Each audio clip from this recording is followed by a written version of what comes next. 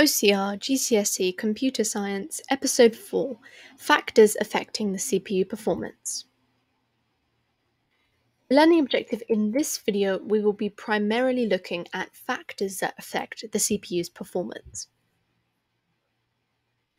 Now, these are the four things that affect the CPU's performance cache, clock speed, RAM amount, and the number of cores. Let's look at them first. Cache. The cache is data storage that's found inside the CPU, and it's really just a faster version of the RAM. However, it only holds a very small amount of temporary information. A larger CPU cache gives the CPU faster access to more data because the cache holds a frequently used data. So it's much more faster to access data from the cache than it is from the RAM, and therefore, the bigger the cache, the more data you can access faster. Now let's look at clock speed. So everything in the processor runs at the tick of a clock. The number of instructions a single processor can carry out per second is known as the clock speed. Hence, the faster the clock speed, the greater the number of instructions that can be carried out. But sometimes, if the clock speed is too high, it could cause the CPU to be overclocked and result in crashes and even permanent damage. RAM amount. So, RAM acts as the main memory. Everything that you do when you open a computer needs to be moved from the storage to the RAM. And therefore, the more RAM you have, the less reliance on virtual memory because virtual memory is used when your RAM gets full up. But the thing is, virtual memory is slower.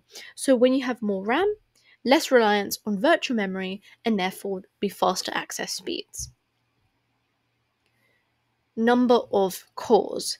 So each processor core can process data one at a time. So if you have a single processor core, you're processing one instruction at a time.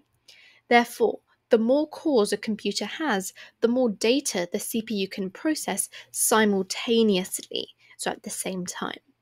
But again, just like clock speed, it is limited to how many cores the computer is originally built to facilitate. If you're trying to get a quad core processor and get that to be used in a computer which can only facilitate dual core, then it will only run at dual core and you would have practically wasted your own money. Now let's do some exam question practice. Explain why using a computer with a large random access memory might improve the CPU's performance. This is three marks. Let's go through the answer. So, the greater the RAM, the greater the amount of programs that can be run, and therefore the lesser the reliance on virtual memory, which is much more slower. Hence, the faster a computer using more data will be. So because there's more RAM, that means that more programs can be held and the less the reliance on virtual memory because the less likely of a chance the RAM will be full up. Thank you so much for watching this video. If you did find it helpful, be sure to like and comment and also subscribe to No Waffle GCSE and for later No Waffle A-Level. See you soon.